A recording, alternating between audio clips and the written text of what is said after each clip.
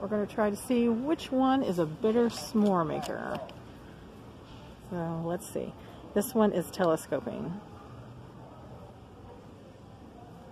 Okay, and we're going to put it in our buggy.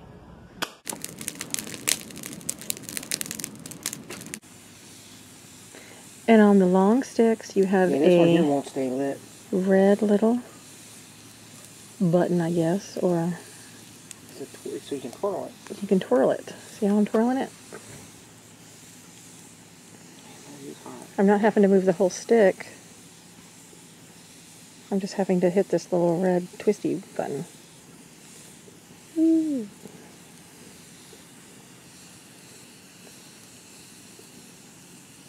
It's almost done.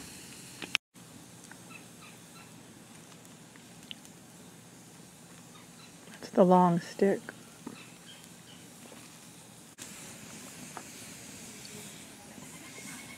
Yeah, this one here is hissing, that big one. Yeah.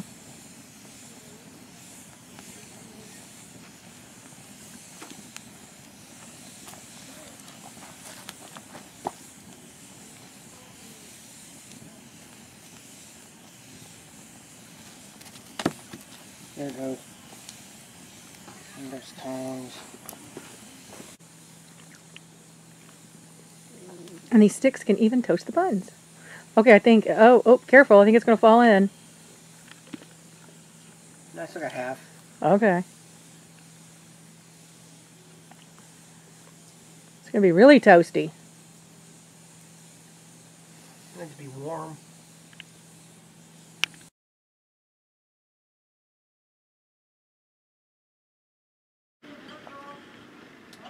All right, we're going to make some s'mores. Can't wait. Found something new at the grocery. It is a square marshmallow to fit perfect on that. Let's see. Let's see if it works.